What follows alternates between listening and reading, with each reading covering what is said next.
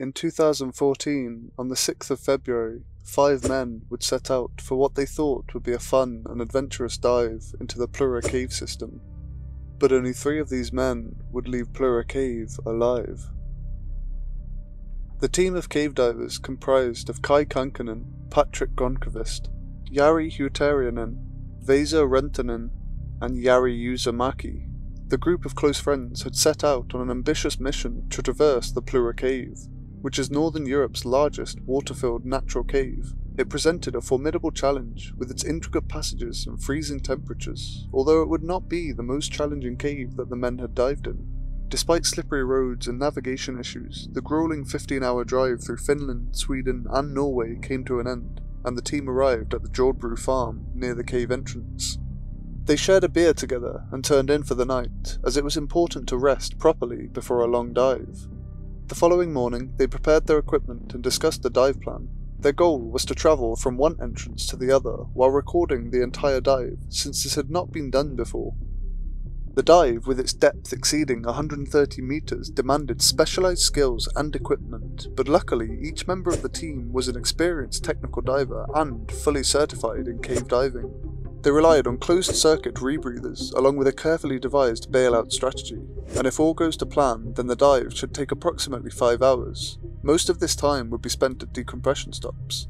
The men divided themselves into two groups, Patrick and Jari H would be in charge of cutting a hole in the frozen lake, creating an entrance into the water. Meanwhile, Vesa, Jari U, and Kai would be trekking to the other entrance where they would leave supplies, dry clothes, and food for once the dive had been completed. Then they would head back, and after two hours, they also would enter the water and begin the dive. One reason for this two hour window was to let any sediment settle to ensure everyone has full visibility, but mainly it was so that the other divers were ready to help if anything went wrong, and unfortunately, things would go wrong. Horribly wrong. As the first team descended into the icy cold but clear waters of Plura, Patrick and Jari H, using their scooters, glided into the entrance of the cave. About one hour into the dive, Jerry H and Patrick had swam through the deepest parts, which was about 110 metres lower than the entrance. They were due to head through a particularly narrow area. Patrick went first, but having made it through, he realised that the light of Jerry was nowhere to be seen. He turned around and could see Jerry in the distance, still in the tight passageway, frantically waving his flashlight around to get Patrick's attention. Patrick swam straight back to Jerry, trying to figure out what was wrong.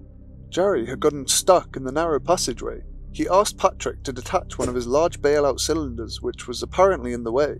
It was difficult and awkward to detach, but Patrick managed to get it off him and swam just a few meters away to put it down. But when Jerry saw Patrick swimming slightly away from him, he screamed for Patrick to come back. It was clear that panic was starting to set in. Patrick returned immediately to Jerry and tried to tell him to calm down. At this point, Patrick had also noticed that Jerry's scooter was jammed under a huge rock. He shouted and gestured at the scooter, Jari then forcefully yanked the scooter out of the rock, somewhat breaking it in the process. Jari then urged Patrick for the open circuit bailout gas, which is essentially their emergency air. Patrick knew at that moment that the situation was extremely bad. He handed Jari a mouthpiece from his cylinder. Jari took about 10 breaths, then switched back to his rebreather. They would continue this cycle three times, but at some point during this, Patrick noticed that Jari had nothing in his mouth, and to Patrick's horror, he saw Jari start to inhale water. He tried pushing the regulator into Jari's mouth, but it was too late. Jari was gone.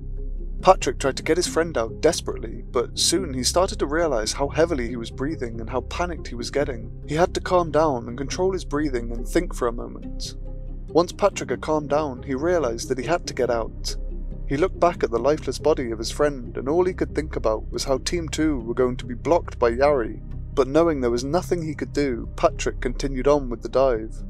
About two hours after Patrick and Jari had entered the water, the other three men would begin their dive, as planned, with no idea what awaits them 130 meters down.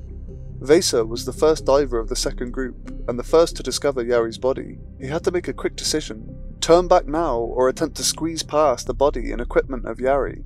He decided on the latter and would manage to get past Jari, but it added 15 minutes onto Vesa's diving time, which would mean he would have to spend 3 extra hours at decompression stops. Except, Vesa didn't have the sufficient air to make these stops, and would end up surfacing almost 80 minutes early. As Vesa surfaced, he started to feel pain in the joints of his knees and elbows, one of the first signs of decompression sickness. The second diver of Team 2 was Jari Uusimäki, but upon seeing the body of the dead diver, Jari completely panicked and began to overload his rebreather with CO2. The final diver, Kai, saw Jari in his panic and attempted to help, but there was nothing he could do. Jari was already gone. Kai decided he did not want to risk pushing through to the end and turned around and began the long swim back to the entrance of the cave. He would resurface almost 11 hours after setting out. When he did get back to the entrance in Lake Plura, the part they had broken had already frozen over again, but luckily it was still thin enough and Kai managed to break the ice and climb out.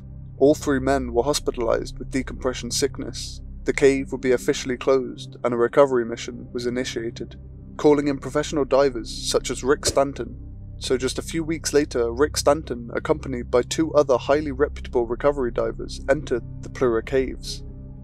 But once they reached the bodies, it became clear to Rick that this was going to be far more difficult than he thought.